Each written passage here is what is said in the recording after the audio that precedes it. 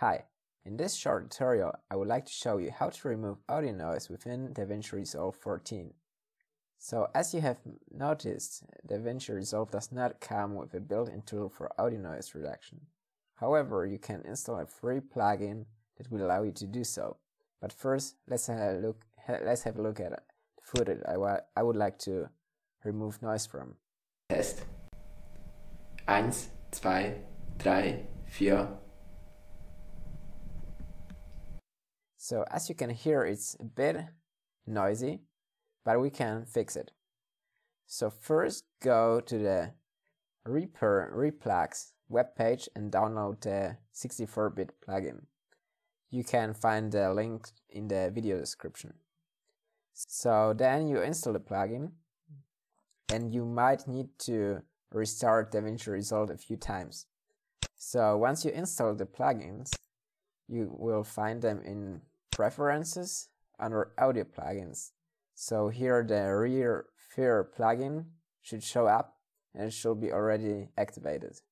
If not, do so. But I have already activated plugin, so let's see. So I will make a copy just to so that we can compare the versions before and after. Then go to the Fairlight tab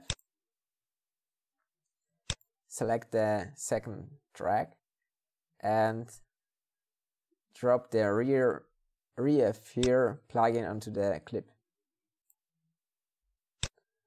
So now you want to move the cursor to a section where there is actually no voice, there is only noise and change the mode to subtract and check the box at automatically build noise profile.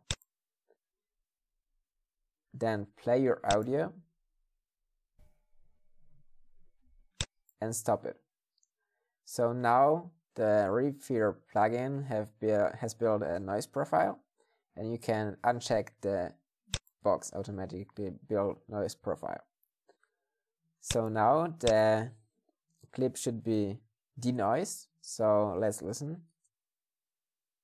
Das ist ein Test. Eins, zwei, drei, vier. So it's quite quiet. And just to compare, this is the original clip. Drei, vier. Das ist ein Test. Eins, zwei, drei, vier. So as you can see or listen, there's a big difference and it's actually free so so even better. I hope you liked this tutorial and see you next time.